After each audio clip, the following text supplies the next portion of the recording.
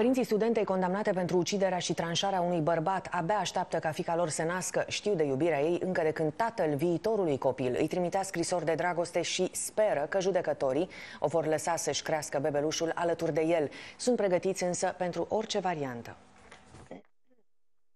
Viața merge înainte. E un om matur și o tărește singură. V-ați Atunci gândit nu la era. varianta asta să luați dumneavoastră copilul?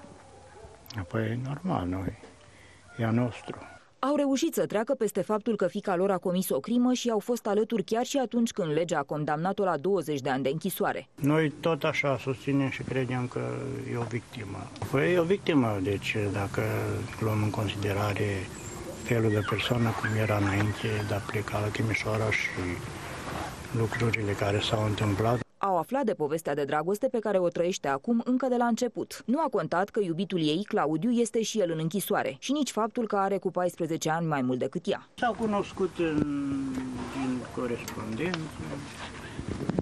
au spus gândurile, păsurile lor. Ce v-a spus despre el? E un bărbat pe care îl iubește. S-au bucurat când Carmen le-a spus că vor fi bunici în luna a doua de sarcină. Acum își așteaptă nepotul acasă.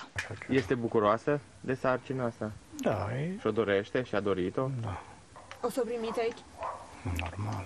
I-ați pregătit cumva camera copilului? voi? Probabil mai târziu, deocamdată e prea devreme. Declar că regimul de detenție îmi creează stări negative care ar putea să dăuneze copilului ceea ce nu doresc. Speră să fie pusă în libertate? Oricine speră lucrul ăsta. Va fi ea liberă, dar conștiința tot încărcată va fi. E normal să vină măcar un an să-și vadă de copilul și așa acasă.